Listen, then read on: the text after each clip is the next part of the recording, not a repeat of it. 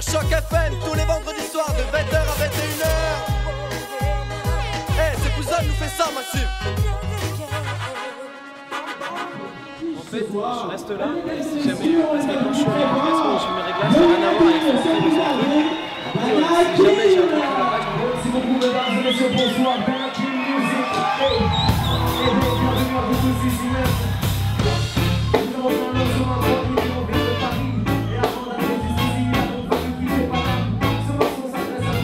S'est rencontrés en, en- en 98 exactement, on a commencé à faire de la musique ensemble en 2000. Donc ça fait, on, a passé nos 10 ans effectivement l'année dernière, les, les 10 ans du premier concert. On a commencé euh, essentiellement à faire des petites tournées sur la côte aquitaine, c'est comme ça qu'on s'est fait un petit peu tous les étés à partir en voiture entre potes. Euh, voilà pour le plaisir, vraiment à vivre la musique comme, comme une passion, comme un délire de potes l'été surtout.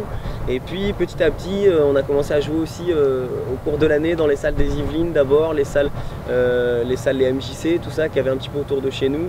On avait la possibilité de répéter dans un petit local chez nous aussi, ce qui nous a permis régulièrement de jouer.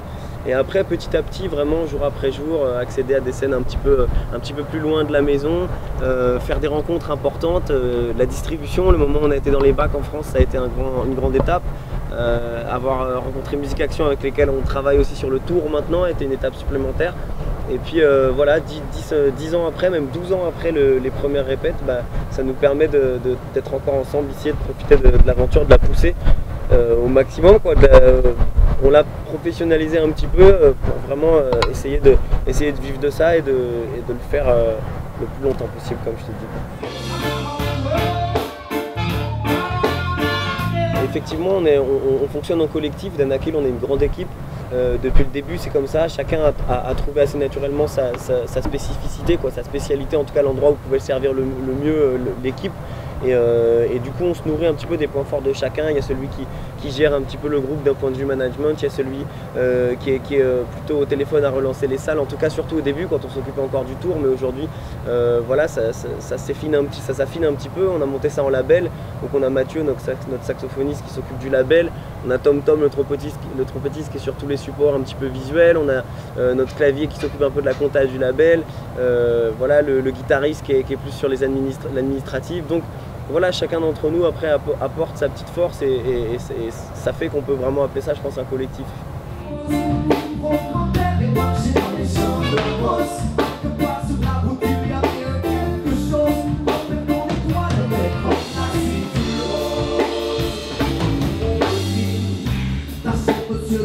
on, on a une relation euh, hyper, euh, hyper privilégiée avec les gens, avec le public, les gens qui nous, soutiennent, qui viennent au concert. Euh, on est un groupe qui est vraiment en dehors de tout circuit médiatique en France depuis le début et jusqu'à aujourd'hui. Ce qui fait que euh, ça a mis un peu plus de temps forcément, mais euh, les salles se sont remplies au fur et à mesure avec le bouche à oreille. Je pense que pendant les 500 pre- premiers concerts du groupe, il n'y a pas une seule fois où j'ai pas dit aux gens faites marcher le bouche à oreille, c'est notre force, voilà, c'est comme ça que ça, que ça fonctionne. Donc au final, ça crée ce rapport en fait. Euh, les gens qui viennent au concert euh, sont venus parce que quelqu'un leur a conseillé de venir ou leur a fait écouter, leur a apporté le, disque. Il n'y a pas eu, il y a pas, ça, on s'est imposé à personne quoi. Les gens sont venus un petit peu à, cette musique, à, ce qu'on proposait, je pense, en live. Et, euh, et voilà, on a toujours eu cette sensation du coup d'être proche des gens pendant les concerts, après les concerts, quand on allait les voir, il y a toujours eu ce rapport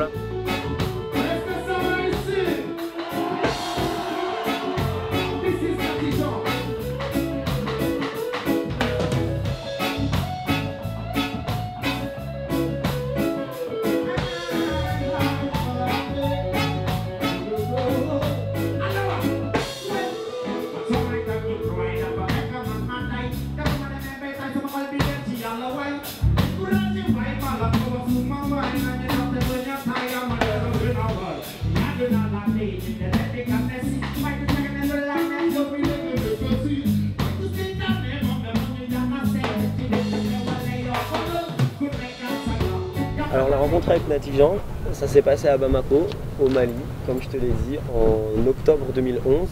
Euh, il travaillait chez Manjoul, qu'on a rencontré là-bas. Et, euh, et puis, euh, bah voilà, quand on est arrivé, il nous, a, il nous a aidé un petit peu à prendre, à prendre pied dans le pays, tu vois, tout ça, on est arrivé... euh, J'étais, un petit peu le guide, voilà, c'est ça quoi. le guide touristique. Ça Voilà. nous a mis Je les ai accueillis à l'aéroport et tout, tranquille. Bon, direct, on a eu une, bonne vibe, une, ça c'est je sais pas, on est, on est devenu très vite complices, quoi, on va dire. Et bon, à force de les, de, d'être avec, avec eux, d'être avec eux dans la maison, dans la piole, il y avait de la musique, on était tous musiciens, donc il y avait de la musique et on a commencé à jammer, on a commencé à chanter et voilà, on s'est dit, ben voilà, c'est, nice là ce qu'on fait et ils m'ont proposé de le poser sur le support, sur l'album et j'ai posé, donc j'ai fait deux morceaux de featuring avec eux. Euh, Free de l'album aussi. Et euh, euh, euh Free et Regard Croisé, voilà, exact. Donc euh, bah, voilà, c'est comme ça que ça s'est fait. était au cœur aussi sur l'album. Du coup, euh, il, était, il était présent un petit peu sur l'ensemble du truc. On venait de passer deux mois en répète à jouer ensemble. Donc ça a été euh, assez naturel de se dire au moment de repartir, tu vois, de voir les, quelles étaient les possibilités en fonction de son agenda, son projet, son album aussi qui était fini d'enregistrer, ça tournait bien. Et puis voilà, on a décidé de partir ensemble quoi. Du coup, nous, ça, avec Danakil, ça a euh, ça a donné tu vois, genre, euh, une, étape nouvelle. On arrivé à deux voix, occuper la scène différemment, tout ça, avec, euh, avec la voix de Nati Jean un petit peu à chaque concert en fait maintenant. Nati, ça a été l'occasion aussi de rencontrer le public français, européen, sur les festivals en Belgique, en Suisse, tout ça, et maintenant de présenter son propre album. Donc voilà, je, pense que la musique, et en tout cas dans le reggae, c'est une musique qui, est forte de ses connexions culturellement et depuis le départ, de ses featuring, de ses connexions, de ses rencontres.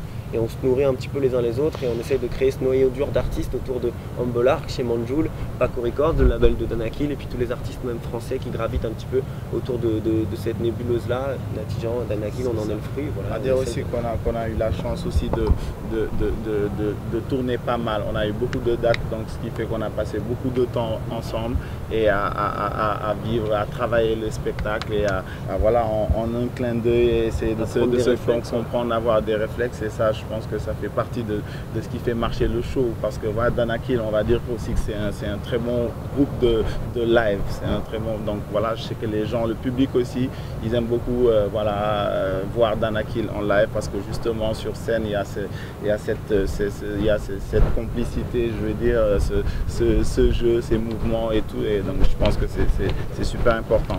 Et, on continue sur, sur la route, on est toujours, on est toujours là.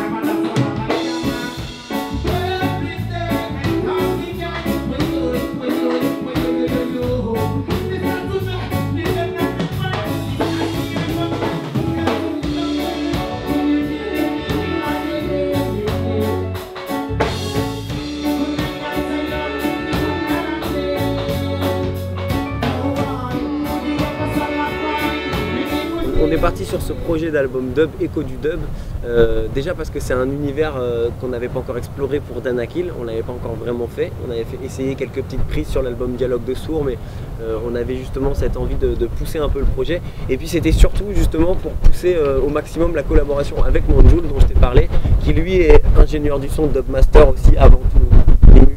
Est, musicien, bassiste, tout ça, mais il est reconnu pour euh, voilà, ses travaux sur ces, fameux Dub to Mali. Et euh, il a un super son en, tant que Dub Master. Et on voulait absolument, bah, étant donné que c'était lui qui était là sur cet album, on l'avait fait chez lui avec ses prises de son, ses instruments, ses musiques et les percussions.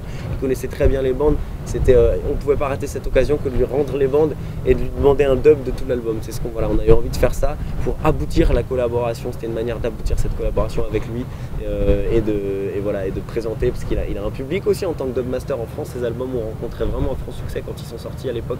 Euh, Dub to Mali 1, Dub to Mali 2, il est sorti le Dub to Mali 2 aussi. Ouais. Et je crois qu'il travaille sur le 3 si je dis pas de bêtises. Bientôt.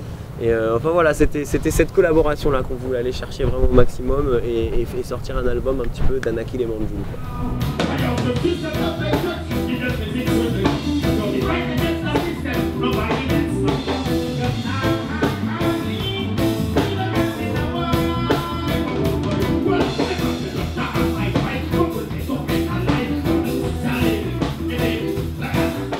Euh, au Reggae Awards du Web 2011, c'est pas que ça ait réellement eu des conséquences sur notre carrière, puisque c'est un titre assez honorifique.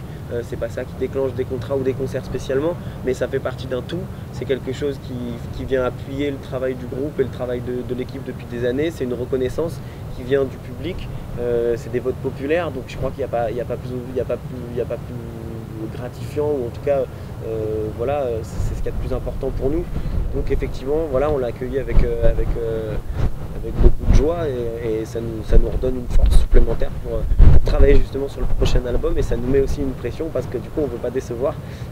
mais voilà, c'est très positif et on remercie encore tous ceux qui, voilà, qui ont, pensé à, mettre un petit clic pour nous sur ces trucs-là. Voilà, merci, c'est cool. C'est, comme ça qu'on avance avec les gens, c'est le moteur du truc.